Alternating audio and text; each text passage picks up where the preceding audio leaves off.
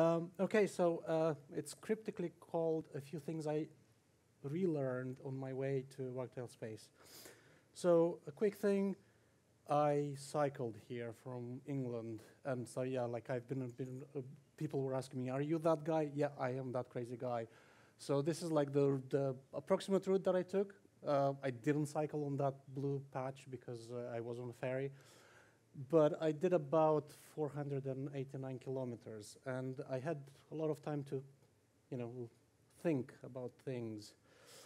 Um, so the first thing uh, is, you know, kind of listen to your elders, or better said, uh, or, or your peers, or people who know things and who, who, who are more experienced. Uh, so in my case, uh, I am lucky to have a few friends who are keen cyclists, and they, first of all, kitted me out. So that's my bike, but uh, everything else, like the, the, the, the, long trip stuff, the panniers and the, the bags, everything is for, from friends.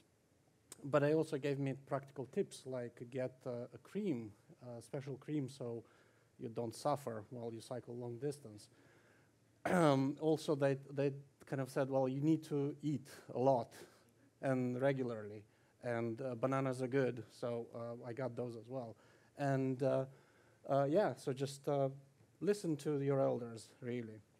The second one is, oh yeah, and the second thing is when I planned the trip, it was taking me through London in a different way, about the same ki kilometers.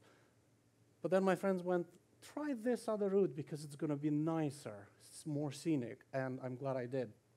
I mean, no one wants to go through a very big and polluted city. Now, being static is bad. Unlike, you know, with websites, being static on, on, on, on, on the bike for long distances is quite bad. So on my second day, I kind of forgot about that. So I put a lot of pressure on my hands and kept them pretty much in the same position. And uh, at the end of the day, I couldn't feel my hands. So I couldn't like tie my shoelaces or untie my shoelaces. And that was very disconcerting. So yeah, you know, you need to change position. Uh, there are things that you can do, you know, uh, wave your hands and put them at the back, kind of take pressure off them. The other thing that I learned is, um, you know, and, and to, to, kind of paraphrase uh, well, what's his name, Ford Prefect from uh, Hitchhiker's Guide, you know, it's, it's, it's a tough uh, world out there. But, you know, if you want to survive, you, you need to know where your towel is. I had that.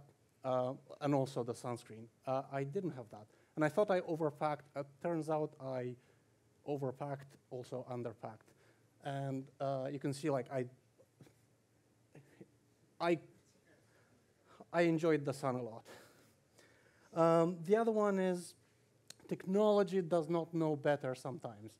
I mean, or sorry, the other way. Technology does know better sometimes. And when I was planning my route, uh, the, there was this section which had a lot of canal paths.